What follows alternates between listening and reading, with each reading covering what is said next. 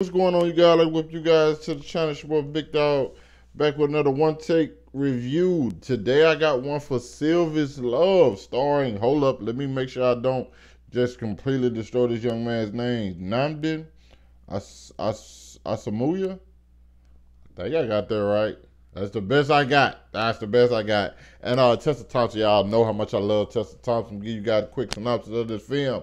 Uh, Tessa Thompson plays the character named Sylvie, who uh, works at her dad's working shop, who um, ends up hiring this man, young man, this saxophonist. Is that what they call saxophone? Yes, that is exactly what they call saxophonist named Robert. And Sylvie's uh, engaged, but her um, Robert have this summer romance that um happens for the summer and then they end up reconnecting five years later to realize that the feelings that they had for that summer weren't just a summer thing and it was more long lasting than both of them realized. I first of all have to say I, I this is I really enjoyed the hell out of this film. I think there were some aspects of it that uh, somebody brought to my attention last night before I even, you know, got a chance. Because I was about to do my review last night. Yeah, somebody t- hit me up and they said I didn't like the film. I was like, what? And their reasoning was very, very valid. There were certain things in it that bothered bothered them about how the characters like interact. Me, I've never been a person to like ever like be okay with like cheating and stuff like that.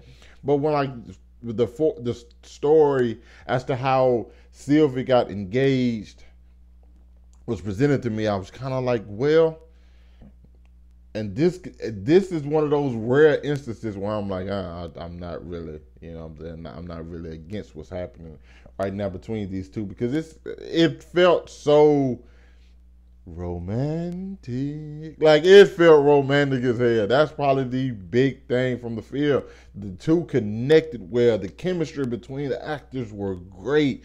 Uh, uh, uh oh, the oh my, the musical selection called the soundtrack was perfect. The way the songs were used is that the songs would be playing but they will gradually get louder as they go. And it's like you hear it, yet you don't start singing until the song gets loud because it's like it, it's, like it led you into the moment. I'm just like, oh, this is beautiful. This is this this this is love. This is love. Everybody know, like, if, well, everybody might not know, but like, I'm a firm believer in true love in a movie, okay? In real life, probably not, but like in a movie, I'm like, oh, they can do it. They can do it. And it's like that's that, that feeling of like that connection between the two. You just like, y'all gonna do it? And then there's other things that are presented to them, other obstacles that are in their way. And you're like, oh, maybe not.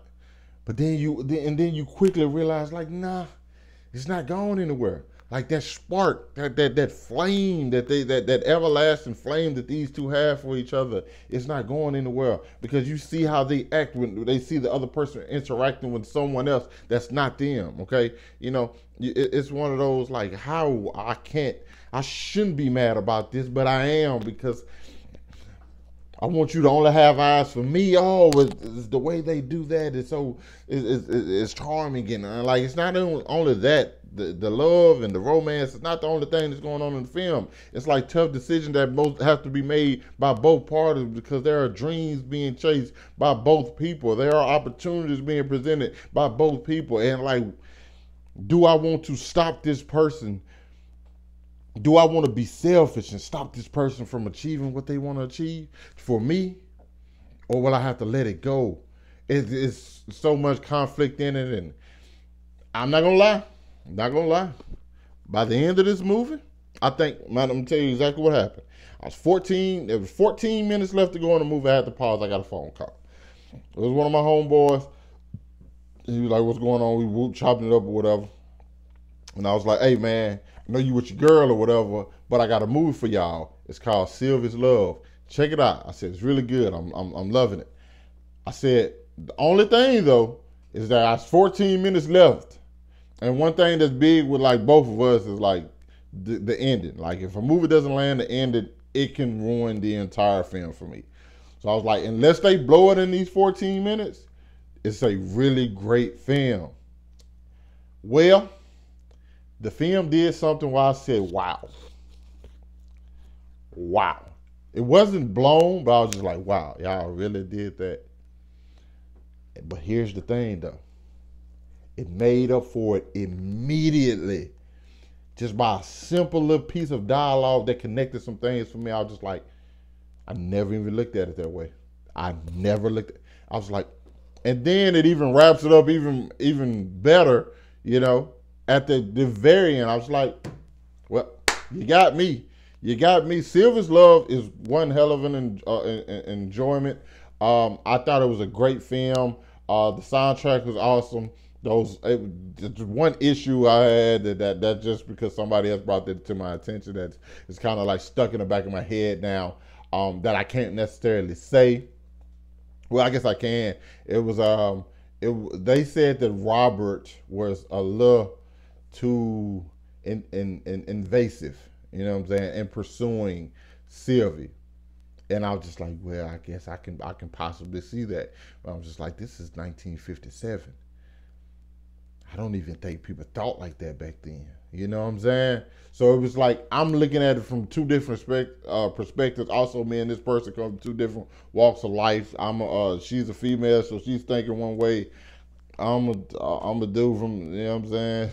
So I'm thinking a, a, a, totally different way. So it's just, I guess it's like whatever walks of life you own, you know. So will that bother you or not? Especially, and then I feel like you have to watch it to see how it's executed to know like whether you're like enjoy it or like oh it's not really that much of a deal or not, you know. But overall, I think the film was fantastic. Uh, probably one of the best of 2020. I don't know if it's going to end. I haven't did my top 20 of this year yet, uh, but uh, that uh, I mean my top 10 of last year um, yet. Uh, so I don't, and I'm pretty sure this video won't come out till after the, that one. So uh, you'll know if it made it before this review even came out. But uh, yeah, you guys check it out. It's on Amazon Prime. Really dope film, man. Um, hit that like button, subscribe to my channel. If you've seen it already, let me know what you thought about it. Um, I'll catch up with you guys later.